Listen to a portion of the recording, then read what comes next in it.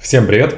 Я знаю то, что вы вообще соскучились по урокам по Linux, по таким техническим, но я честно вам скажу, я очень-очень сильно устаю работать. Я даже не брал себе выходные на Новый год. У меня и 31 и 1 число были рабочими днями. Я так, правда, чуть поменьше часов работал, но я решил не тратить выходные дни. Я, в общем, дико устаю делать эти технические всякие штуки, и поэтому я сейчас стараюсь отдохнуть, набраться сил. И я записал опять очередное такое более-менее поверхностное видео, в котором я расскажу о примерной задаче DevOps-инженера. Кроме того, у нас прошлое видео вышло такое немножко пессимистичное, хотя я его таким не задумывал. Но тут вы просто мою мимику считываете, которая у меня, в принципе, такая по жизни грустненькая. Основной у меня посыл был не в том, что профессия заканчивается, а в том, что надо эволюционировать, чтобы оставаться на плаву. Это справедливо, в принципе, для любых профессий. Так что ничего такого страшного в этом нет. Сегодняшнее видео будет у меня такое обобщающее поверхностное, но все-таки с некоторыми деталями, чтобы это было, конечно, интересно. Двух одинаковых задач у девопсов разных быть, безусловно, не может. Я вам показываю пример того, что я делал. Люди могут делать совершенно разные вещи. Это просто такой взгляд на мою ежедневную рутину. Я постараюсь вам побольше таких подкидывать, чтобы у вас сформировалось представление о том, чем можно, в принципе, заниматься, если вы вдруг не занимались. А если вы вдруг этим уже занимаетесь, может быть, вам будет интересно послушать, с чем я тут сталкиваюсь и как я это реализовываю. Я работаю уже полтора года в кошельке Exodus, в биткоин кошельке, ну, в смысле, вообще в криптовалютном кошельке. У нас там много очень монеток, поэтому я вам сначала расскажу про специфику работы, а потом уже какие-то конкретные примеры. Именно поэтому я здесь биткоины налепил в левом верхнем углу. Итак, у нас есть наш криптокошелек, и, как правило, задача для DevOps-инженера звучит так. Нужно подключить какую-то монету.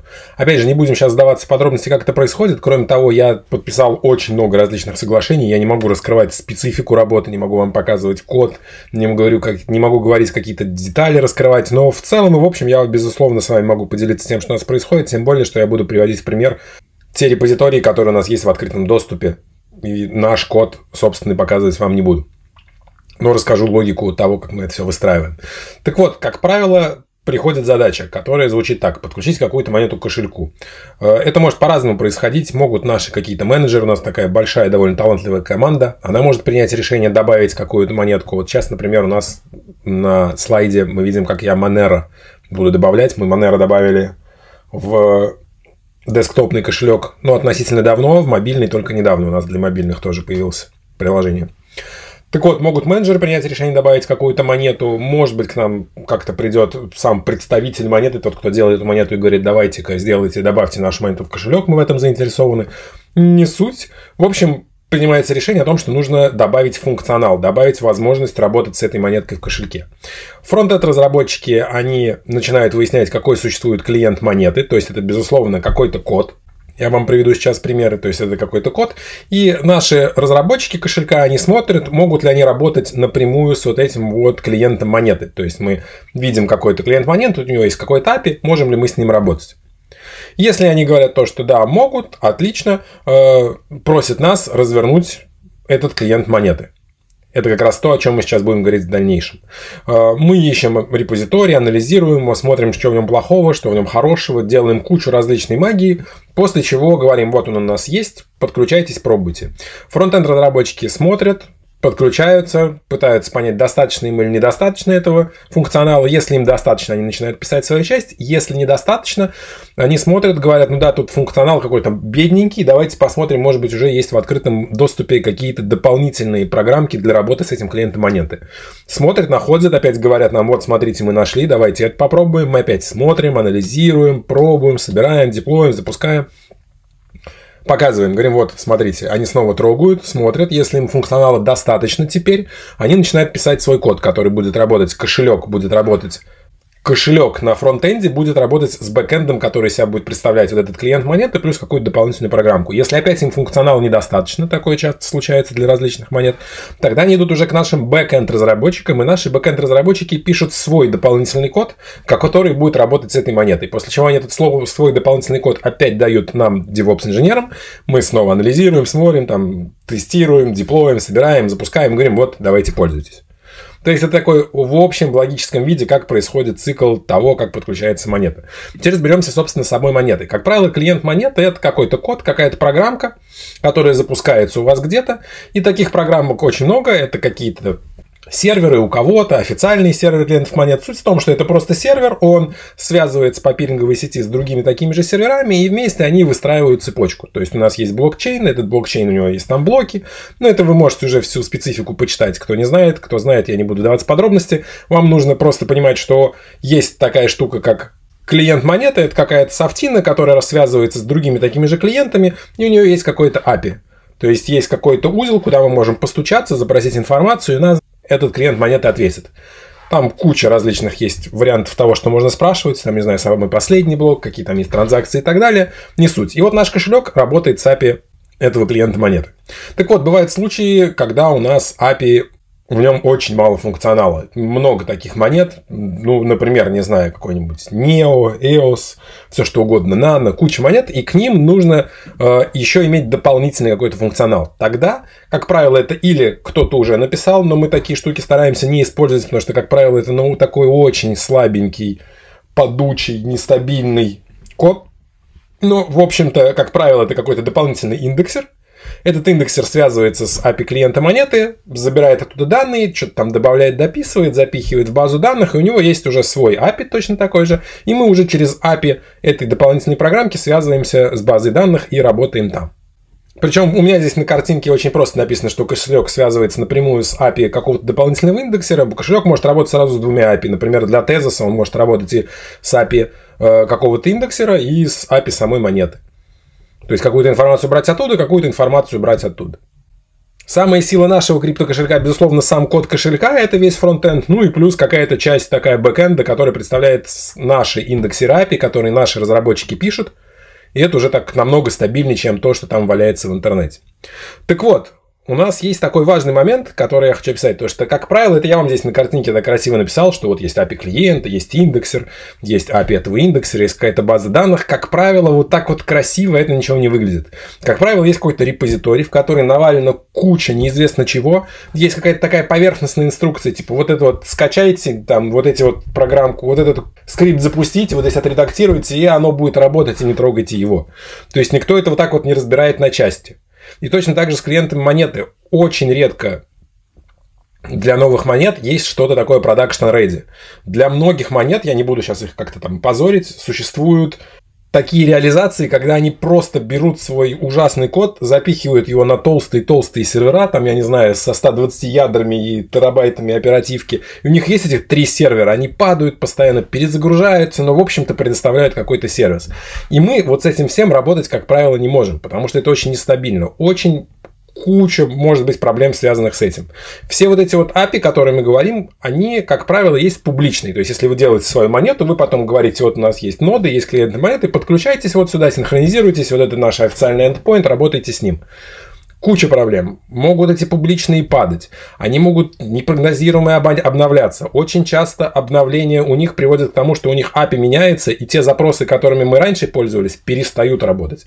Меняется функционал. Только недавно, например, Атом со второй попытки смог обновиться, после того, как он обновился, они просто потерли к чертовой матери всю историю. Оставили только баланс на своих нодах, а все, что было до этого, всю историю, они просто ее потерли. То есть все, что есть вот это вот публичное, оно, как правило, нестабильно. То же самое с индексером и API. Это все очень крайне стабильно, поэтому, как правило, мы, чтобы обеспечить должный такой уровень инфраструктуры для наших клиентов, для тех, кто пользуется кошельком, мы берем и разворачиваем каждую монету у себя. Опять же, мы делаем это не для всех монет. Есть, безусловно, монеты, которые предоставляют довольно стабильные какие-то вещи, и с ними можно, в принципе, работать. Есть, например, трон, который, чтобы работал нормально, ему нужно такое количество ресурсов вбахать, то что экономически, в принципе, невыгодно у себя это разворачивать, поэтому мы там пользуемся публичным, например, до тех пор, пока оно не упадет. Хотя у нас тоже есть как бы это все в холодном резерве. Но, как правило, вот все эти проблемы решаются тем, что мы берем клиент монеты, смотрим их репозиторий и разворачиваем этот клиент монеты у себя в нашей инфраструктуре, чтобы у нас был под руками, чтобы никто не мог его внезапно обновить, уронить, завалить атакой и так далее. У нас он крутится в нашей сетке, синхронизируется с какими-то публичными пирами, и мы с ним работаем. Опять же, это тоже не решает всех проблем. Клиенты монет, они тоже довольно проблематичные. Они могут застревать, например. То есть мы можем связаться не с теми пирами, может произойти какой-нибудь хардфорк, мы можем не успеть обновиться или наоборот обновиться по рекомендации и выяснить, что поторопились разработчики монеты давать нам эту рекомендацию, и после этого обновления пропадает, не знаю, функционал, начинает работать нестабильно. Поэтому это тоже такая задача непростая, но она начинается с того, что мы у себя запускаем монету. И дальше мы уже думаем, как делать это все красиво. Это все, в принципе, касается, касается любого open source кода.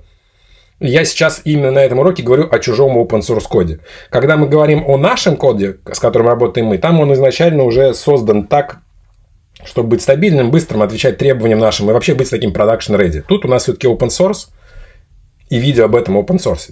Так вот, разберем те задачи, которые я делаю по каждой монете. Опять же, здесь нет никаких секретов. Любой, кто работает э, с криптой и вынужден как-то разворачивать у себя, это делает приблизительно то же самое.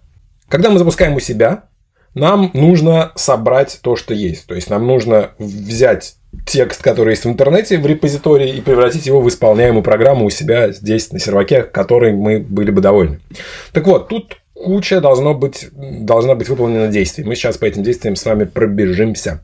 Первое, мы берем, открываем репозиторий. Кстати, мне, наверное, нужно будет запустить браузер. И э, в репозитории смотрим, есть ли вообще какой-то релиз-цикл. Вот я здесь у нас буду в гугле открывать. Вот, например, как пример, у меня есть Ontology. Есть такая монетка, ONT. И вот у нас у этого Ontology есть, ну, у них много что есть. Нас интересует, например, Ontology Explorer.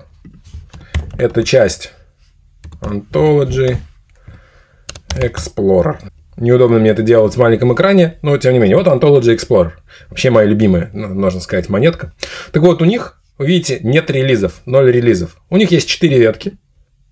Вот у них 4 ветки, мастер и так далее, и так далее. И все они валят в эти ветки. То есть если происходит какое-то изменение, они его закидывают в ветку. Так, как бы ну, нормальные люди не делают. У вас накапливаются какие-то изменения, вы их там проверяете в какой-то ветке и делаете релиз. И в этом релизе вы пишете, вот у нас произошли такие-то изменения, вот это мы поменяли, вот здесь у нас изменилось что-то в API. Вам нужно выполнить такие-то действия, чтобы обновиться. Ничего здесь этого нет. Они просто тупо все валят ветку version 2.0, и поэтому если вы просто будете у себя собирать все время из этой ветки, у вас будут все время происходить фантастические какие-то действия. То есть каждый раз, когда вы попытаетесь куда-то заново собрать и деплоить, у вас все будет по-новому. Поэтому приходится ввязаться уже здесь к конкретному хэшу комита. Или, может быть, если вам это выгодно, я не помню, до какой момента я это делал, вы просто форкаете этот репозиторий и начинаете вести его сам. Но это большой геморрой, потому что разработка монеты отдельно от вас уходит куда-то в сторону, поэтому проще вязаться к какому-то комиту и периодически проводить исследования, смотреть, вот они за последний месяц напихали столько изменений, давайте-ка мы попробуем это собрать и задеплоить в тестовую среду, собираем, у нас сборка падает, все падает, потому что здесь нет релизов даже, здесь ничего нет. И мы мучаемся, смотрим, что изменилось, пытаемся найти, поправить, потом пишем нашему разработчику, говорим, разработчику, там то-то-то поменялось, посмотри и так далее. Кстати, вот здесь вот у них достаточно мало ишьюсов, а я помню то, что я много создавал. Давайте попробуем из issue. Author Касимаев. Вот, полюбуйтесь, сколько я здесь. Три осталось открыто, и 20 они уже закрыли. Вот я им здесь пишу, пишу, пишу, пишу, пишу, пишу, пишу. Где-то я просто жалуюсь, где-то я предлагаю действия, где-то я показываю свой код. То есть тут не так, что мы просто жалуемся, мы пытаемся вместе создать вот так в мире более стабильную, надежную систему. И вы здесь можете посмотреть, сколько чего. Это вопрос, вопрос о том, когда DevOps лезет в код. Тут не то чтобы я лезу в код, но тут я даю кучу различных рекомендаций о том, как бы это все-таки грамотнее организовать. Может быть, с точки зрения архитектора, но это громко сказано. Но это пример того, как DevOps-инженер лезет в код, с чем вы со мной не соглашались в прошлом видео и говорили, что DevOps не может лезть в код, что это он там будет советовать. Вот посмотрите, здесь всякие штуки советуют. Так вот, э, есть мы с вами посмотрели, релизов нет, ничего нет. Хорошо. Есть еще у нас тезис, такая монетка. Сейчас, GitLab она, по-моему, находится. GitLab тезис. Вот он, мой любимый тезис на GitLab. На GitLab у нас есть тезис, у тезиса есть, собственно, сам тезис. И вот у них релизы уже есть. Вру, ничего у них нету, перепутал я. Релизов у них нету, у них есть ветки, но у них из хорошего есть таги еще. На GitLab есть таги. И мы можем с вами здесь привязываться к тагам, которые, по сути, тоже ссылка на какой-то комит, и они вот уже молодцы, они с какого-то времени, то есть вот я когда начинал, по-моему, еще не было у них вот этих вот всех тагов, сейчас у них, видите, в мае выпустили, в августе выпустили, вот в декабре выпустили три недели назад, у них стало возможно привязываться к тагу и собирать таг. Ну, это пример того, когда у нас нет с вами релизов. Давайте посмотрим кого-то с релизами, например, не знаю, Нео, по-моему, делает у нас релизы. Вот у нас не, вот видите, у него есть 11 релизов, и мы можем спокойненько брать релизы, надо только теперь отмотать на какой-нибудь стабильный. Не вижу никакого стабильного, к сожалению. Ну вот, есть какие-то релизы, мы можем их отсюда брать. Вот из сентября последний превьюшный релиз, из августа вот 10, 10 2, 10, 3. И вот здесь мы можем взять релиз. Релиз у них, по сути, представляет собой вот здесь вот какие-то исходники, собранные в архив.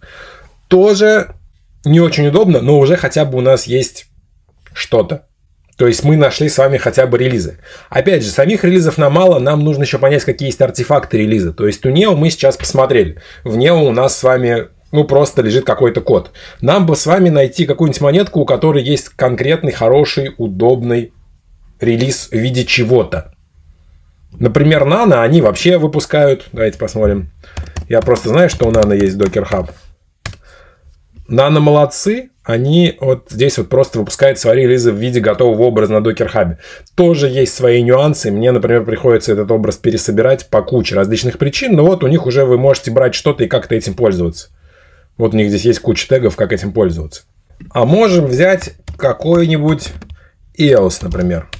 Достаточно такая цивильная монетка, у них должно быть все нормально. Вот у них сразу переходим на страничку с релизами, и вот у них уже красивый релиз. Вот увидите, что был релиз 1.8.8, два дня назад буквально, вот я обновлялся.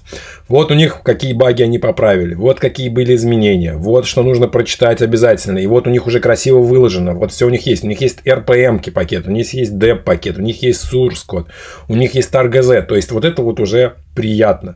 Тут вы можете взять готовый пакет и уже его разворачивать в зависимости от того, какая у вас система. Не нужно вам думать, что вам с этой штукой делать. Они просто зарелизили и сделали все красиво. Так вот, если у вас таких вот релизов красивых нет, вам нужно писать свой сценарий сборки. И это уже начинается геморрой. У кого-то есть инструкция, у кого-то нет инструкций. Zcash, например, он может собираться 40 минут. Но хорошо, что, в принципе, в последнее время, этого не было буквально года полтора назад, все такие популярные известные монеты, они стали наконец релизить свои бинарники, которые можем использовать. До этого нам нужно было из исходного кода каждый раз собирать. То есть у нас на нашей CI-CD-системе в GitLab, в Jenkins, там, смотря что вы используете, в чем угодно. Мы выкачиваем код, мы начинаем запускать, скачивать все компиляторы, обновления, совместимости, все это выкачиваем, выкачиваем. Потом начинаем это все собирать. В результате сборки получается пакет. И мы надеемся, что этот пакет такой же, как задумали разработчики. Но совершенно не факт, потому что очень часто разработчики забывают указать какую-то совместимость. Могут там использовать другой какой-нибудь немножко компилятор версии. Там все что угодно может быть. Могут быть какие-нибудь конфиги они не туда положили. Потому что очень часто мы сталкиваемся с тем, что вообще разработчики, они у себя на ноутбуке что-то там нафигачили, посмотрели, сказали, что да, вот, вот так вот собирается, вот так запустится. И когда вы начинаете в изолированной среде это все запускать, когда у вас для сборки запускается один агент, вы берете чистую операционную систему, чистую файловую систему, все туда выкачиваете, все делаете как сказано, оно не факт, что заведется, к сожалению. Должен сказать, что несмотря на то, что, конечно, много хороших разработчиков, попадаются они редко и очень часто приходится вот прям вот разбираться в каждой монете, что же, почему она не собирается, или почему она собралась, мы ее запускаем, а она теперь падает. Это все грустноватенько, и DevOps-инженер должен с этим разбираться. И очень часто, опять же, вопрос, когда DevOps-инженеры лезут в код, вы начинаете все собирать и смотрите, вот оно у вас упало. Вот, вот смотрите ошибку, почему упала, лезете в код, находите, что здесь у него неправильная зависимость, здесь у него переменная переопределена. Здесь он сказал, что она так называется, а она на самом деле вот так называется. И вы начинаете писать, что, ребята, у вас здесь так, так, так, так, так. Давайте поправьте код здесь, здесь, здесь и здесь. То есть, опять же, мы, конечно, не лезем не говорим, давайте меняйте, как у вас здесь все работает, но такие мелкие ошибки, которые есть в коде, DevOps-инженер может найти и показать разработке, сказать, что здесь у вас так плохо. Когда это наша собственная разработка, это, конечно, очень быстро процесс происходит. Когда это open source, вы им туда issue зарепортили, и они там через две недели посмотрели. Хорошо, что у нас кошелек такой достаточно популярный, у нас есть, как правило, каналы связи с каждыми разработчиками монет, и мы там можем быстренько эти вопросы решать. И вообще, как правило, таких проблем уже стало меньше в последнее время. Все-таки сфера развивается. Но вот опять же, года полтора назад это было трудненько. Следующий момент – это управляемые конфиги. Опять же, разработчики, как правило, что они делают? Они создают какой-то конфиг и говорят, ну, вот этот вот конфиг давайте использовать. Давайте я посмотрю, например, на примере того же Ontology. В душу он мне запал. Хотя в любой монете это есть. Я не факт, что сразу найду эти конфиги Ontology. Ну, давайте попробую. Не похоже на то, что я хочу. Наверное, он Explorer я опять свой родной хочу. Это их Explorer от них же. То есть к их монете они еще и выпускают Explorer. Мы его с вами вот смотрели. Это тот, которому я зарепортил много всего. Explorer. Можно посмотреть, кстати, много таких монет, и в этих монетах будут от меня какие-то зарепорченные ищу. Может быть, даже будут какие-нибудь мерджи квесты, куда я что-нибудь писал.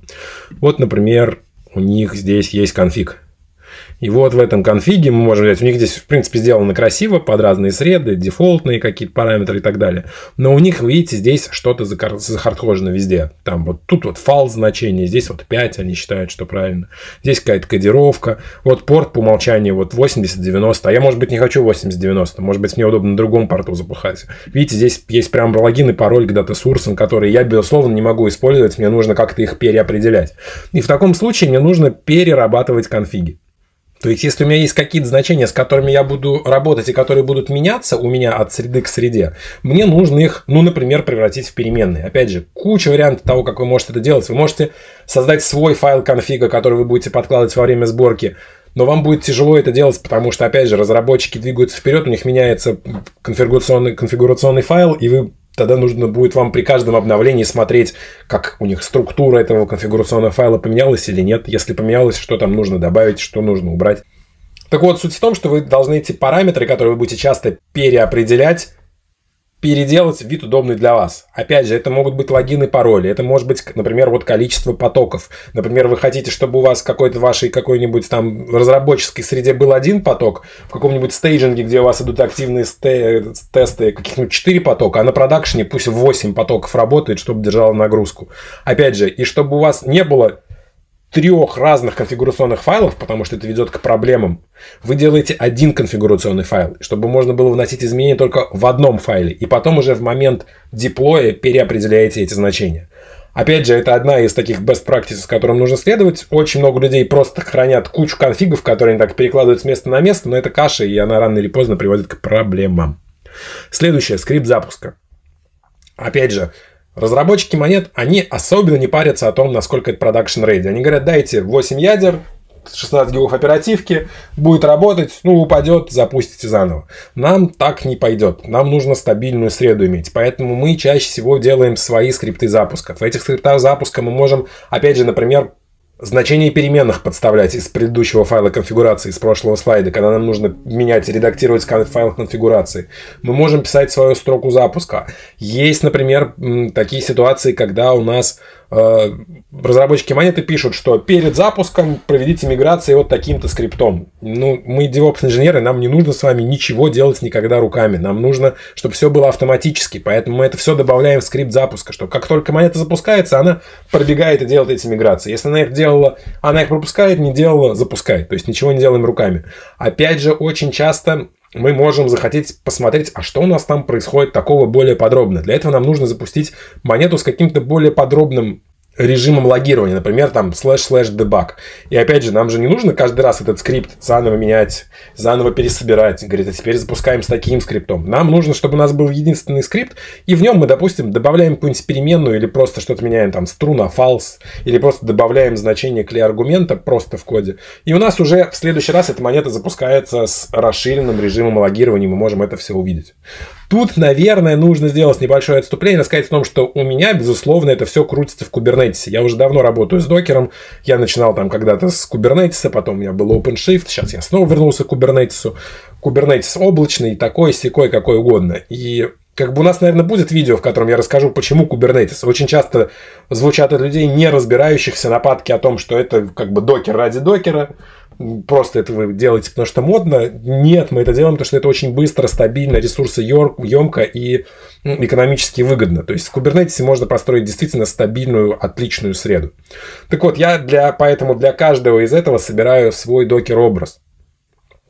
То есть у меня задачка еще немножко сложнее, мне нужно собрать докер-образ, этот докер-образ должен быть легкий, быстрый, ну, наверное, сейчас к этому придем. И там везде я меняю свои скрипты запуска. Дальше, после того, как мы это все грубо говоря, собрали, запускаем и смотрим, как оно работает. Работает оно, в принципе, по-разному. Можем смотреть и отслеживать, насколько хорошо оно у нас, там, не знаю, жрет ресурсы. Опять же, это клиент монеты. Моя задача в том, чтобы он не отстал от своих пиров, от сети в общем, от блокчейна. И поэтому основная такая проверка – это проверять, насколько он отстал от публичной какой-то там высоты чейна. Э, мало кто заморачивается. Как правило, health-чеки – это проверить, не знаю, запущено ли приложение, есть ли у него какой-нибудь айдишник, или проверить, доступен ли порт. В крайнем случае, особенно умные люди пишут проверку, которая проверяет статус монеты, если есть API у нее, и когда там статус ок, монета считается здоровой. Мы, безусловно, стремимся обеспечить прям должный уровень работы монеты, поэтому мы пишем свои сайткары, так называемые, это дополнительные контейнеры, которые бегут рядом с основным, и эти контейнеры проверяют кучу параметров монеты. В частности, мы добавляем метрики Прометея. Эти метрики Прометея, перефразирую, э, клиент монеты, э, он, у него есть API, у этого API есть какие-то данные, мы запускаем рядом сайткар, сайткар считывает эти данные все и представляет их в виде метрик для Прометея. То есть у меня есть метрики, и по этим метрикам я могу судить насколько у меня монета действительно здорова. И если у меня в какой-то момент монета нездорова, она это скажет в этом своем сайткаре метрик. То есть это дополнительный код, который бежит сбоку. Опять же, этот код в идеальном случае пишут опять-таки сами DevOps-инженеры. У нас по-разному это делается, но в частности в данном случае я могу этот код уже там редактировать, править, его писал не я, но я понимаю, как он работает, и я могу добавлять, менять какие-то параметры. То есть у нас продвинутые health-чеки, которые действительно следят не просто ли живая монета, а насколько она соответствует нашим ожиданиям. В Kubernetes, опять же, на основе этих метрик и на основе этих health-чеков мы можем кучу действий выполнять, перезапускать, не давать на нее трафик, ждать, пока она догонит, запускать дополнительные реплики. Но это все уже такие продвинутые вещи. Дальше, безопасность. Это уже, ну, не сфера DevOps-инженеров, но, тем не менее, мы можем проверить основные вещи. То есть, после того, как Майнту запустили, мы смотрим, какие у нее есть API-колы. Например, Nano можно перезагрузить просто API-запросом. Просто послали запрос, монетка перезапустилась. Поэтому перед ней надо или ставить какой-то прокси, или ограничивать эти пути и так далее. Ну, и вообще нужно так там поглядывать. Но в данном случае мы чаще всего запускаем монету, отдаем ее хакерам, хакеры тестят, смотрят, если что-то находят, нам говорят, и мы это поправляем. Опять же, это не наш код, поэтому мы не можем много в нем поправить, поэтому мы как DevOps-инженеры надстраиваем какие-то вещи дальше. Мы или пытаемся на уровне конфигурационных файлов монеты заблокировать какие-то действия, либо мы перед ней начинаем ставить какие-то ограничители. В случае, если это наш код, тут все работает, конечно, по-другому. Опять же, подчеркиваю, тут код не наш. Это публично, я вам показываю. Дальше обязательно проверяем параметры аудирования. Например, мой любимый Neo, который огромный, толстый и тяжелый, он просто не умеет писать логи на выход. Он их пишет в какую-то там базу данных свою локальную, в какой-то файл. И этот файл даже просто так не прочитать. Нужно другую ставить программку и читать этот файл. Мне это неудобно. То есть мне-то нужно делать свою продакшн такую среду, в которой у меня логи в любой момент отовсюду собираются. То есть у меня есть Elasticsearch, у меня есть Kibana, я все эти штуки собираю отовсюду, парсю, смотрю, у меня дашборды, алерты и так далее. То есть мне нужно, чтобы логи выходили на std out, и я их оттуда собираю и читаю эти логи. Опять же, у разработчиков монет свои представления о том, какие должны быть логи. Кто-то добавляет метку с временем, кто-то не добавляет метку с временем. Мне нужно самому писать, как DevOps-инженеру, свой свою прослоечку, которая будет туда добавлять метку времени. Кто-то пишет логи в JSON, кто-то пишет их в стандартную строчку, кто-то вообще какую-то чушь творит. И это все очень неудобно мне. Мне нужно писать свои парсеры, которые берут этот ужасный лог и начинают разбирать его на части, чтобы можно было понять, когда там ошибка, когда там не ошибка, что из этого запрос, как с этим вообще работать. То есть в лучшем случае мы можем написать, опять же, разработчикам монеты сказать, давайте вы будете делать просто стандартный JSON, или давайте вы, ну, определитесь и будете как-то, если у вас ошибка, это будет, не знаю, error он писать в начале, или warning. Не будем писать, не знаю, level 3. Что это значит в вашем представлении? Это может быть information, это может быть все что угодно. Там куча, в общем, нюансов. Стараемся привести логи в порядок. Потому что без логов тяжело разобраться, что происходит. Ну и, по-моему, это уже последний мой слайд по слойке, по сборке. Ух, я устал, какое же долгое получится видео.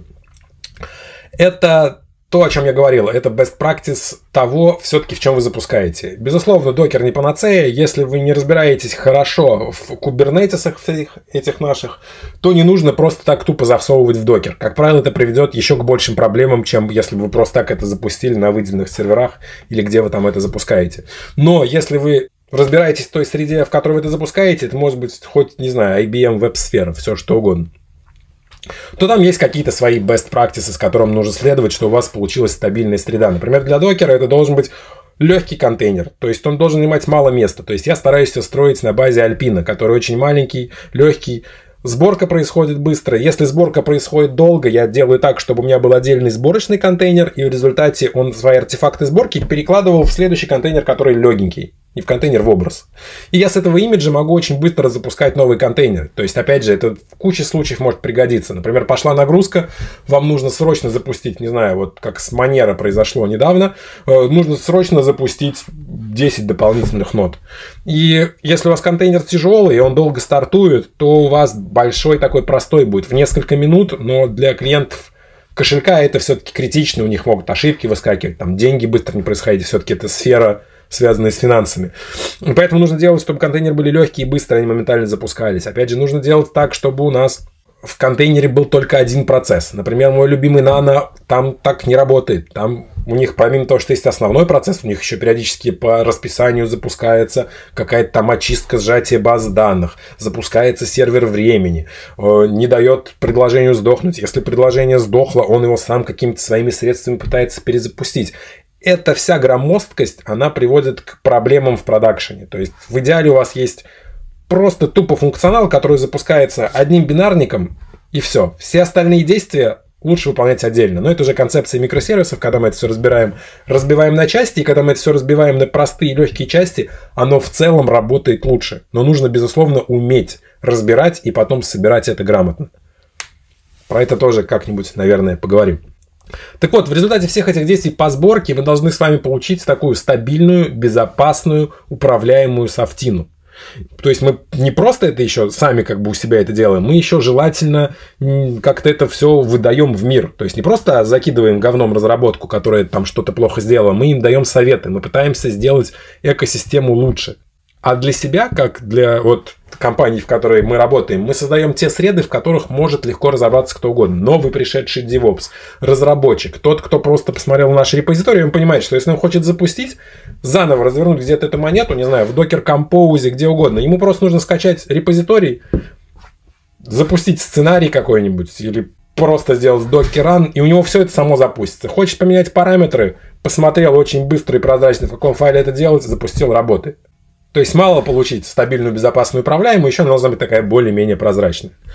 Ребята, я хотел записать одно долгое видео с билдом и диплоем, но я чувствую, никто не дойдет даже до конца этого видео, поэтому сделаем паузу, со споркой мы разобрались, с диплоем будем разбираться в следующем видео.